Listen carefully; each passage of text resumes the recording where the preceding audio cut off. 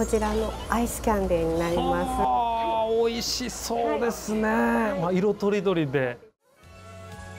伊予鉄横河原駅近く。門店として親しまれている門田商店のアイスキャンディーやっぱり帰省された時に昔食べていたから、ま、あの食べて思い出すっていう方もいるいらっしゃいますし多い人だったらそうですね。3050とかで買っていただいている場合もあります。はい、すごいですね、は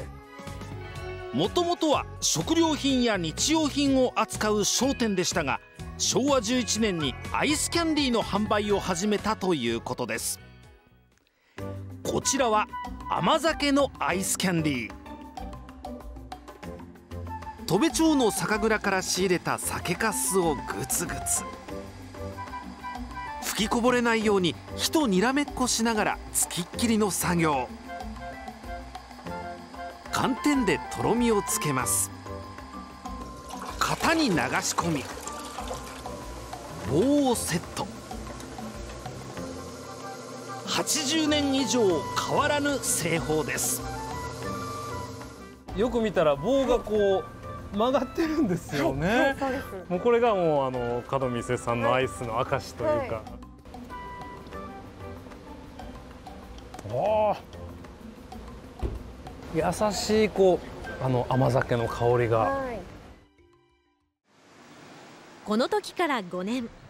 今年甘酒アイスキャンディーが進化したとのこと。こちらが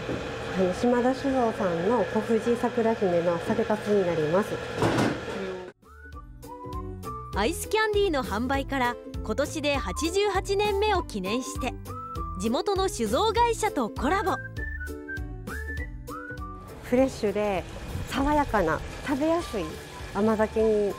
なっているのでぜひ若い方にも召し上がっていただきたいなと思ってます。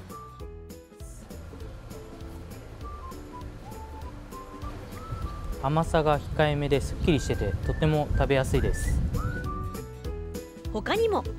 88年記念として子ども限定でカップソフトに5色のパウダーを無料でトッピングすることができます。定番の味を守りつつ新たな味への挑戦も続ける老舗のアイスキャンディー。持ち帰りも可能でゴールデンウィーク中は休まず営業しています。